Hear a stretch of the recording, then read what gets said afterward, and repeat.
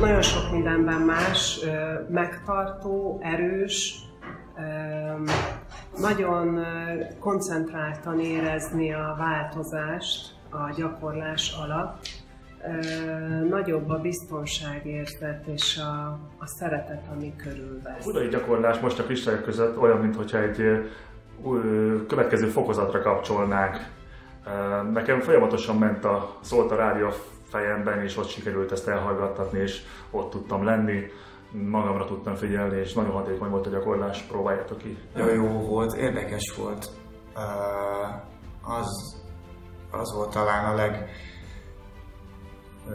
szembeötlőbb, hogy, hogy könnyebb volt csinálni a, a, a gyakorlatokat, de, de ugyanakkor hatásosabbnak is éreztem a, ugye a, a végeredményt. A budai központban még én is éreztem a különbséget nem jellemző rám, hogy különösebben érezném az energiát, mert nem vagyok egy érzékeny típus, de ott kifejezetten éreztem, tehát egyszer csak azt vettem észre, hogy ilyen nagy levegőt kellett vennem, mint a, ami Anna jelenlétében szokott lenni, olyan volt, nagyon erős volt.